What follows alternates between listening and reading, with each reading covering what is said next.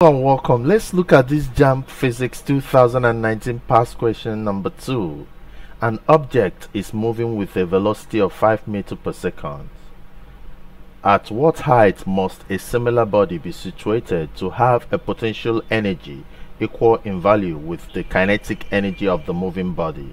Option A 20 meters, B 1.3 meters, C 1.0 meters, D 25 meters. Now, for us to understand it, this is simply, uh, you can look at this as energy conversion.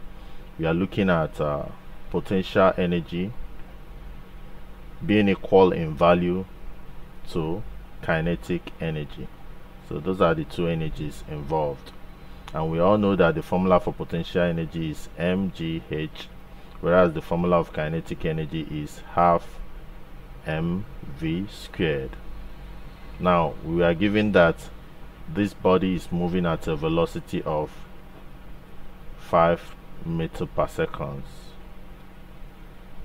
You understand? And we all know that the value of this g here, this very g, is 10 meter per second square. That is acceleration due to gravity.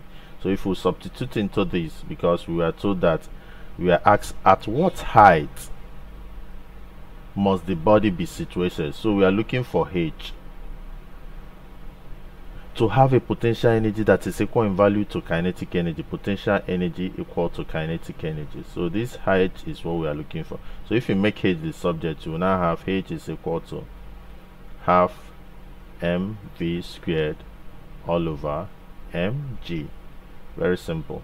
So you're just making subject of the formula so just get that. It says the potential energy has to be equal to the kinetic energy. So you have P equal to Ke formula for potential energy mgh formula for kinetic energy half mv squared. So what are you looking for? H because you are asked at what height?